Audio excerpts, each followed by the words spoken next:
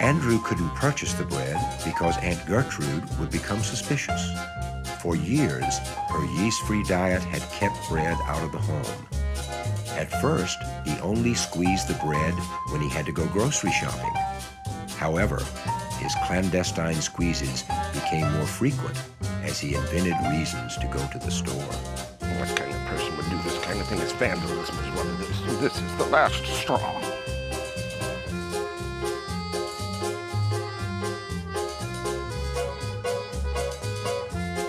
Further maddening to Mr. Pickles was that the only victim of this peculiar crime was the yummy tummy bread.